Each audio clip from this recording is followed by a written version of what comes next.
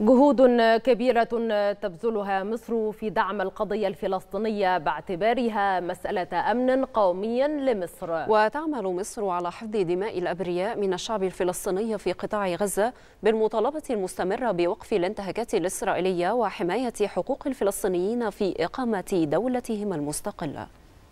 دور فاعل تلعبه مصر للمساهمة في إنهاء الأزمات في المنطقة العربية بوجه عام والقضية الفلسطينية على وجه الخصوص لما لها من قوة ومكانة وما يضيفه لها موقعها الجغرافي ودورها التاريخي. وتحرص القيادة السياسية المصرية على المطالبة بحقوق الشعب الفلسطيني في كافة المحافل الدولية من أجل الحصول على حقوقه المشروعة لإقامة دولته المستقلة وعاصمتها القدس الشرقية. ونجحت مصر في وقف إطلاق النار بقطاع غزة في مايو 2021 وأغسطس 2022 لتجنب المزيد من العنف وحقن دماء المدنيين الأبرياء من الشعب الفلسطيني الذين يدفعون ثمن مواجهات عسكرية لا ذنب لهم فيها فضلا عن الجهود الإنسانية التي قدمتها مصر من خلال فتح معبر رفح لاستقبال الجرحى والمصابين الفلسطينيين والمساعدات الغذائية والدوائية للشعب الفلسطيني. وتحرص مصر دائما على إيجاد سند قانوني لقيام دولة فلسطينية معترف بها من الأمم المتحدة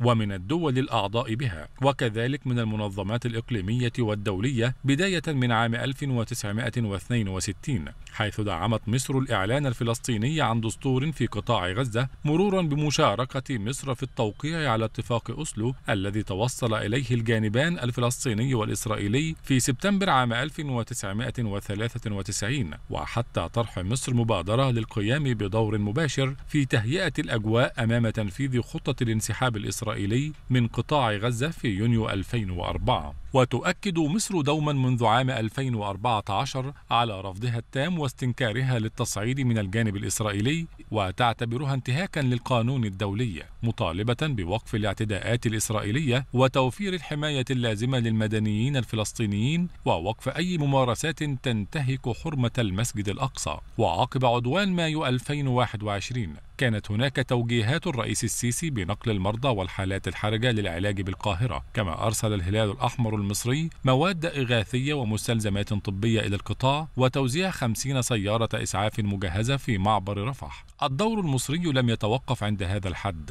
ولكن في منتصف 2021 أعلن الرئيس السيسي تقديم مبلغ 500 مليون دولار لصالح عملية إعادة الإعمار في غزة فضلا عن التأكيد على أنه لا سبيل من إنهاء الدائرة المفزعة من العنف المزمن واشتعال الموقف بالأراضي الفلسطينية إلا بإيجاد حل جذري عادل وشامل للقضية الفلسطينية.